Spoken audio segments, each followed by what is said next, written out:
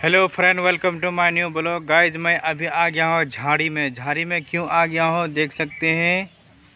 ये सब जो है, लंबा लंबा ये सब क्या है? तो चलिए, मैं आपको करीब से दिखाने जा रहा हूँ, ये किस काम में लगता है, मैं क्या हो रहा है, हमारे यहाँ कैसे कैसे हो रहा है, और हमारे इस इलाके में कहाँ कहाँ हो रहा है, उस चीज़ को मैं बताऊँगा, और कहाँ कहाँ नहीं हो रहा है उसको मैं मैं बताऊँगा।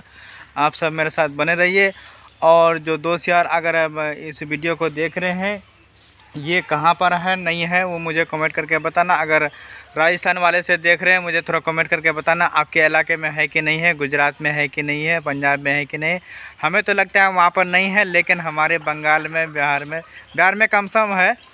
और जो बंगाल से सटा हुआ बिहार है उसमें है करीब करीब ये इसको बाँस बोला जाता है बम्बू बोला जाता है। और ये किस किस काम में लगता है मैं वो भी मैं डिटेल से बताऊँगा। तो आप मेरे साथ बने रहिए ये कितना फुट लंबा है लमसम तीस चालीस फुट लंबा होता है ये।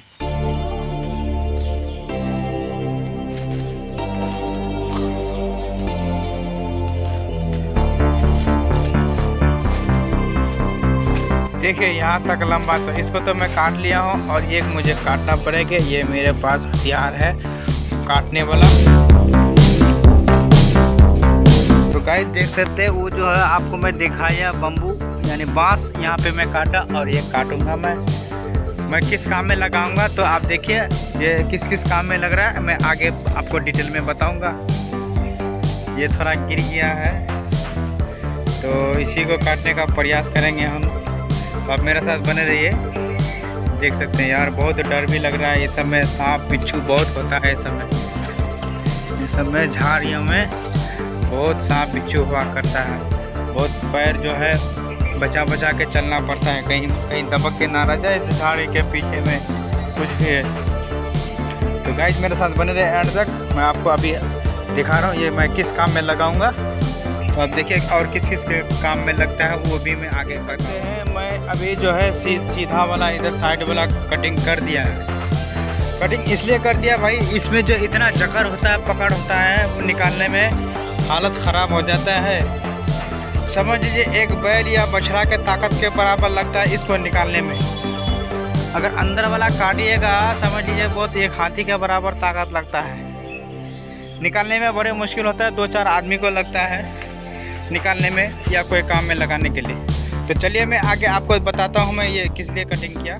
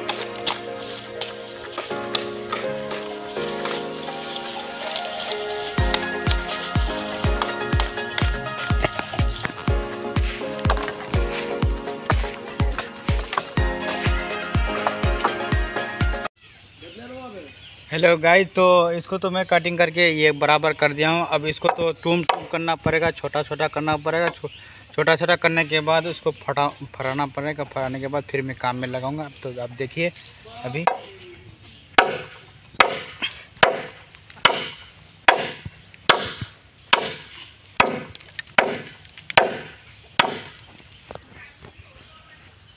तो देख देख सकते हैं गाय ये थोड़ा सा लगा हुआ है, थोड़ा सा लगा अब मैं पूरा कर दूँगा इसको। तो ये तो चलिए भाई, मैं आपको बता देता हूँ, इसका कंपोजिशन ये बाँस में किस किस काम में लग रहा है। आदमी जीवित से लेकर मृत्यु तक एक बाँस जो हमारे इलाके में लग रहा है। और जीवित में क्या क्या लग रहा है? जैसे इस पेड़ को सहारा देने के लिए उसका काम आ गया, कुछ भी बनाने के लिए काम आ गया। और हमारे यहाँ खास करके कच्ची मकान जो बनता है बम्बू से बनाया जाता है। बहुत डिज़ाइन में खूबसूरत में बनाया जाता है। उसके बाद जो हमारे यहाँ कोई भी मृत्यु होता है, बाँस का ये टूम काट करके, टुकड़ा उगड़ा काट करके उसको कवर में ढका जाता है। ढकने के बाद उसमें चटाई देते हैं। चटाई देने के बाद प्लास्टिक व्लास्टिक देखे मिट्टी दिया जाता है। चूँकि यह दिल्ली, पंजाब, हरियाणा में दिखाया जाता है, वहाँ पे पत्थर में अवेलेबल में पाया जाता है। वहाँ पे पत्थर डाला जाता है। हमारे यहाँ बम्बू अवेलेबल पाया जाता है तो बम्बू डाला जाता है। तो हर जगह में अलग अलग सिस्टम हमारे इसलिए इलाके में खास करके बम्बूज बहुत सारे लगाए जाते हैं। गाइज़ तो और मैं किस काम से इसको मैं काम कर फटा रहा हूँ तो आप मेरे साथ जुड़िए। बस एंड तक बस थोड़ी देर के लिए रुके रहिए और वीडियो को अगर अच्छा लगा तो भाई लाइक कर देना और चैनल को सब्सक्राइब कर देना। फिर आपके लिए अच्छा अच्छा मैं कंटेंट लेके लेकर के आता हूँ। तो आप मेरे साथ बने रहिए अभी।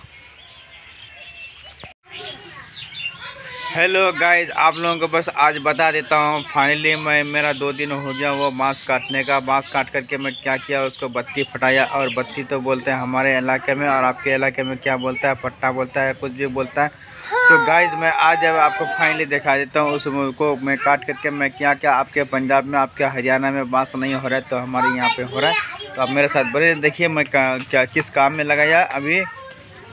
देख सकते हैं यहाँ जो है नारियल का पेड़ लगाया मैं। नारियल का पेड़ लगाया, इसलिए इसको घेरने के लिए, नहीं तो पकड़ा उकड़ा खा लेगा। ये इसलिए इसको मैं काट करके मैं इधर दिखाया। और एक पेड़ में आगे दिखाता हूँ, एक पेड़ उधर आगे लगाया मैं। और एक पेड़ मैं यहाँ लगाया, इस, देख सकते हैं, नारियल का पेड़ लगाया। आपके राजस्थान में नहीं हो रहा है क्या? या पंजाब में नहीं है पंजाब में कहीं कहीं नहीं देखे हैं। हम गए हैं तो चंडीगढ़, मोहाली गए हैं भाई। और देख देख सकते हैं, यहाँ लगाया। और एक उधर लगा दिया। ये अब हो जाएगा दस साल में बड़ा हो जाएगा। तो गाइज़ आपको हर एक तरह का वीडियो देखने को मिलेंगे मेरे ब्लॉग में। तो गाइज़ इंटरटेनमेंट वाला, हर तरह का बच्चे वाला और काम काज से रिलेटेड तो गाइज़ वीडियो को अगर अच्छा लगा तो लाइक कर देना। जो नए दोस्त यार है तो वीडियो को सब्सक्राइब कर देना और बेल आइकन को ऑन कर देना। तो आपको तरह तरह का वीडियो देखने को मिलेंगे गाइज़ तो मिलते हैं नेक्स्ट ब्लॉग में। अच्छा कॉन्टेक्ट के साथ टाटा बाय बाय